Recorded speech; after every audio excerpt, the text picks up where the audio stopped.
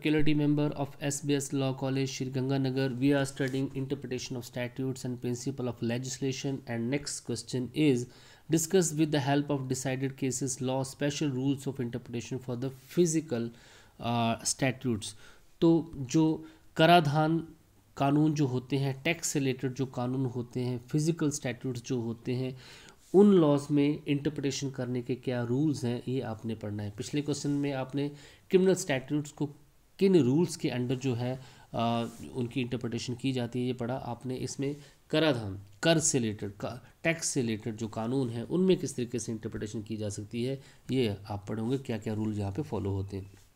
तो criminal law की तरह जो फ़िज़िकल लॉ होते हैं फ़िज़िकल स्टैट्यूट जो होते हैं, उनमें, उनकी भी स्ट्रिक्ट इंटरप्रिटेशन की जानी चाहिए रेगरेस इंटरप्रिटेशन जो की जानी चाहिए और मैक्सिमम बेनिफिट जो है वहाँ पे करदाता को दिया जाना चाहिए। जैसे वहाँ पे एक्यूज को दिया जा रहा था, यहाँ पे करदाता को एसएससी को जो है मैक्सिमम बेनिफिट उसका दिया जाना चाहिए। Ever since the feeling of the public welfare has arisen in the state जब से स्टेट में जो है पब्लिक वेलफेयर का कंसेप्ट जो आया है the treasury has include additional burden of the expenditure तो खजाने पे जो है, बहुत ज़्यादा भार अब पड़ गया है। जो गवर्नमेंट खजाना होता है, उसमें बहुत भार भार पड़ा है, क्योंकि अब गवर्नमेंट जो है पब्लिक वेलफेयर स्कीम ज़्यादा लेके आती है। Public welfare states have to do many task in the public interest and most of treasury spend on तो पब्लिक वेलफेयर जो है, में जो है पब गवर्नमेंट को जो है, बड़े सारे पब्लिक इंटरेस्ट में काम करने पड़ते हैं और सारा खर्चा जो है, खजाने से, जो सरकारी खजाना होता है, वहाँ से किया जाता है। The main means of meeting the expenditure और ये सारे एक्सपेंडिचर कहाँ से आते हैं? खजाना कैसे भरा जाता है? ये टैक्स से भरा जाता है। Tax is the major source of revenue ये रेवेन्यू का सबसे बड़ा सोर्स है। Citizens are also expected to pay the tax methodically तो और सिटीजन से ये एक्सपेक्ट किया जाता है कि वो टैक्स जो है टाइमली पे करें। Paying tax is a legal duty of the person and violating it's punishable तो टैक्स को पे करना हर एक सिटीजन की लीगल ड्यूटी है। अगर वो पे नहीं करता है तो उसको पनिशमेंट भी वहाँ पे हो सकती है। It is for reason that the recommended to the interpret the uh, taxation uh, law strictly. Wealth Tax Commissioner Gujarat was Alice Bridge Gymkhana year 1998 supreme court का केस इस केस में सुप्रीम कोर्ट ने साफ़ बोला कि physical statutes की taxation law की जो है स्ट्रिक्टली वहाँ पे इंटरप्रटेशन की जानी चाहिए। क्योंकि ये गवर्नमेंट के लिए ये आ, सरकार के लिए एक बहुत इंपॉर्टेंट सोर्स है इनकम का और इसकी स्ट्रिक्ट इम्प्लीमेंटेशन जो है और स्ट्रिक्ट इंटरप्रटेशन की जानी चाहिए। How are the taxation law taxation law कैसा हो? Since taxation law are interpreted rigorously, the language of such law is expected to be clear and unambiguous. तो taxation law की language जो है वो clear and unambiguous होनी चाहिए Language of taxation law should not have multiple meaning. और जो taxation law की जो लैंग्वेज है उसके मल्टीपल मीनिंग नहीं होनी चाहिए क्लियर एंड अनएम्बिगुअस लैंग्वेज होनी चाहिए ताकि कोई डाउट वहाँ पे ना रहे मदुराई देवस्थानम वसे Madurai municipality A R nineteen twenty eight Madras case है it was held Madras high court that the while passing the taxation law it should be clearly mentioned in them तो जब भी टैक्सेशन लॉ की interpretation हो, जब भी taxation law को पास किया जाए टैक्सेशन लॉ को इनेक्ट किया जाए तो उसमें ये चीज़ें होनी चाहिए। How much tax has been impose कितना टैक्स लगाया जा रहा है? What is the tax levied on किस पे टैक्स लगेगा? And how long has it been impose और कितने टाइम तक ये लगता रहेगा? ये चीज़ें जो हैं टैक्सेशन लॉ में क्लियरली मैंशन होनी चाहिए। हमारे पास income tax act nineteen sixty one है उसमें ये सारी चीज़ें जो है बता रखी हैं। Wage holidays and perks private limiteds Kuntha दोनों gram panchayat, it was held by the Kerala High Court that the person should not be taxed unless there is a clear provision in the taxation law तो इस case में clear बोला गया कि person से तब तक टैक्स नहीं लिया जाना चाहिए, तब तक इसका प्रोविज़न जो है क्लियर टैक्सेशन लॉ में नहीं कर रखा है। तो यहाँ से एक बात क्लियर होती है कि फ़िज़िकल स्टैट्यूट्स में टैक्सेशन लॉज में की जो वर्डिंग है वो क्लियर एंड अनएम्बिगुअस होनी चाहिए और उसकी इंटरप्रिटेशन उसी फॉर्म में की जानी चाहिए। यहाँ पे जो है टैक्सेशन लॉ के जो वर्ड हैं, जो उसके प्रोविजंस हैं, उसके मल्टीपल मीनिंग नहीं निकलने चाहिए और स्ट्रिक्ट सेंस में इसको यूज़ किया जाना चाहिए। अब आपके पास रूल ऑफ़ इंटरप्रटेशन क्या है? इनको यहाँ पे देख लेते हैं। There are some special rules of interpretation of taxation law these the main among these rules are तो कौन कौन से रूल है? पहला taxation statute should be interpreted literally literally इसको यूज़ किया जाना चाहिए। जैसे आपने क्रिमिनल लॉ में देखा, इसमें भी इसका जो है, इसकी इंटरप्रिटेशन लिटरली होनी चाहिए ग्रामेटिकली होना चाहिए। इसका क्लियर नेचुरल मीनिंग इसका दिया जाना चाहिए। दूसरा the law should be interpreted rigorously और दूसरा जो है फ़िज़िकल लॉ को भी क्रिमिनल लॉ के तो जो है इसकी इंटरप्रिटेशन रेगुलसली कठोरता से होनी चाहिए।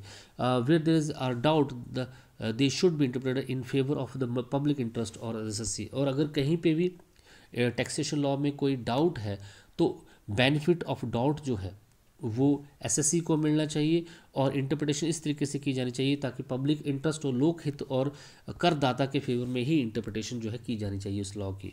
Word use in the taxation law should be interpreted in the prevailing sense and popular meaning तो जो टैक्सेशन लॉ में जो वर्ड यूज़ किए गए, उनकी इंटरप्रिटेशन जो है पॉपुलर सेंस में और प्रिविलिंग सेंस में ही की जानी चाहिए। ये भी क्रिमिनल लॉ की तरह ही आपने देखा।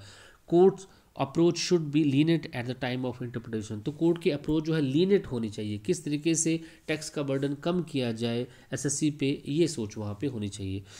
Interpretation should be made in such a way that the tax evasion और tax fraud is not encouraged interpretation इस तरीके से की जानी चाहिए टैक्सेशन लॉ की कि वहाँ पे टैक्स चोरी टैक्स फ्रॉड जो है वो कम हो। The provision related to the exemption in taxes should be strictly interpreted अगर टैक्स में बड़ी सारी एग्जाम्पन्स जो है दे रखी हैं, बड़े सारे ऐसी प्रोडक्ट होते हैं जिस पर टैक्स नहीं लगता है तो उनकी इंटरप्रटेशन स्ट्रिक्टली जो होनी चाहिए। लैंग्वेज और taxation should be clear and unambiguous taxation law की जो लैंग्वेज है, वो क्लियर एंड अनबिग्यूस होनी चाहिए। The law of rigour should not be applied to the methodology और लॉ ऑफ़ रेगर मतलब किसी भी तरीके से कठोरता को यहाँ पे लाना ज़रूरी है और मैथडोलॉजी को भी अप्लाई करना ज़रूरी नहीं है। These rules of interpretation of taxation statute uh, have been confirmed in the various और ये जो रूल है इनको बड़े सारे केसेस में जो है कंफर्म भी किया है। रूल ऑफ़ रिजिडिटी आपके पास है। It is recommended the explain the taxation law strictly ये तो आपने अभी पढ़ा। कि जो टैक्सेशन लॉज को स्ट्रिक्टली जो है इंटरप्रिटेट किया जाना चाहिए।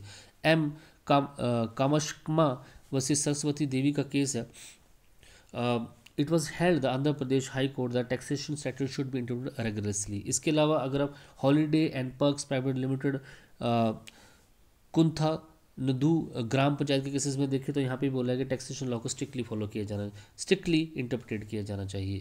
uh, इसके अलावा union of India versus Azadi Bachao Andolan A R two thousand four supreme court का केस है सुप्रीम कोर्ट ने यहाँ पे ये बोला कि टैक्सेशन लॉ में किसी तरीके की इक्विटी जो नहीं होती फ़िज़िकल स्टैट्यूट में इक्विटी का सिद्धांत नहीं होता है। Taxation law are also expected to be interpreted alphabetically such law should be interpreted as far as possibly तो टैक्सेशन लॉ की इंटरप्रिटेशन अल्फ़ाबेटिकली की जानी चाहिए। सारी चीज़ें बता रखी हैं। इसके अलावा बेनिफिशियल कंस्ट्रक्शन होनी चाहिए। बेनिफिशियल कंस्ट्रक्शन क्या है? कि अगर फ़िज़िकल लॉ को या फिर टैक्सेशन लॉ को इंटरप्रेट किया जा रहा है तो उसका मैक्सिमम बेनिफिट जो है पब्लिक इंटरेस्ट में जाना चाहिए या फिर एसएससी को उसका बेनिफिट जो है मिलना चाहिए। वी एम देसाई वसी राम मूर्ति का केस है ए आर नाइनटीन का। Every provision of the law related to the taxation which impose the delegated liability should be made in favour of the assessee तो एसएससी जो करदाता है, उसके बेनिफिट में जो है टैक्सेशन लॉ की जो है कंस्ट्रक्शंस की जानी चाहिए या इंटरप्रटेशन की जानी चाहिए। Chaya Gupta versus district registrar Chennai 2004 Madras high court का केस है with is a two view regarding the taxation law such approach should be adopted which in the interest of the assessee अगर दो approaches हैं taxation law से related interpretation से related वो approach adopt की जानी चाहिए, जिससे एसएससी का जो है वहाँ पे इंटरेस्ट आ रहा हो या उसका हित तो अगर वहाँ पे हो रहा हो तो। P Fernandes versus M of क्योवेज का केस है यहाँ पे। 1963 का principles have been laid down by the Allahabad High Court regarding the interpretation of taxation of the law. तीन प्रिंसिपल यहाँ पे सुझाए हैं अलाहाबाद हाई कोर्ट ने। Taxation law should be interpreted in the letter और इन द स्पिरिट दूसरा general public should not be compare to any additional charges general public से किसी तरीके से एडिशनल चार्जेस टैक्स के नाम पे नहीं लिए जाने चाहिए। Wherever situation of doubt arises अगर डाउट अराइज होता है इंटरप्रिटेशन के टाइम पे तो इंटरप्रटेशन जो है पब्लिक इंटरेस्ट में की जानी चाहिए। It is thus clear the taxation law should be interpreted more and more in the public interest तो यहाँ से क्लियर होता है कि टैक्सेशन लॉ की इंटरप्रटेशन जो है ज़्यादा से ज़्यादा लोक हित में होनी चाहिए। There is a possibility of two prudent interpretation structures in the taxation law अगर वहाँ पे पॉसिबिलिटी है कि दो इंटरप्रिटेशन सामने आ रही हैं तो उस इंटरप्रिटेशन को किया जाना चाहिए जो कि पब्लिक इंटरेस्ट में वहाँ पे हो। इसके अलावा not applicable in the modus operandi ये बहुत इंपॉर्टेंट बात है। It is worth mentioning here that the law of rigour of interpretation of taxation statutes statutes applies only to the provision related to the taxation, not to the provision of the procedure तो यहाँ पे साफ़ लिख है not applicable on modus operandi का मतलब यहाँ पे यही है कि फ़िज़िकल स्टैट्यूट्स में टैक्सेशन लॉ में जो आप इंटरप्रटेशन कर रहे हैं, वो टैक्सेशन से रिलेटेड ही होनी टैक्सेशन के प्रोविज़न से रिलेटेड ही इसकी इंटरप्रटेशन होनी चाहिए। इसका क्या प्रोसीजर है, उससे रिलेटेड कोई भी इंटरप्रटेशन यहाँ पे नहीं की जा सकती है। A C C limited versus commercial tax officer and the income tax commissioner national Taj traders के केसेस में ये बोला गया। इसके अलावा और भी आपके साथ बड़े सारे केसेस हैं। इनकम टैक्स कमिश्नर बस Gujarat versus A Raman and company का केस है। Supreme court no person can be allowed to defraud taxes citizen should also avoid tax evasion they can only avoid the payment of taxes in lawful manner तो इस case में यही बोला गया कि कोई भी पर्सन कोई भी सिटीजन जो टैक्स को अवॉइड नहीं कर सकता टैक्स अवेजन टैक्स चोरी नहीं कर सकता है, वो टैक्स को अवॉइड कर सकता है सिर्फ़ लॉफुल मैनर से। नेक्स्ट आपके पास इंटरप्रिटेशन ऑफ़ वर्ड तो वर्ड्स की इंटरप्रटेशन यहाँ पे कैसे की जाएगी, ये आपको यहाँ पे पढ़ना है।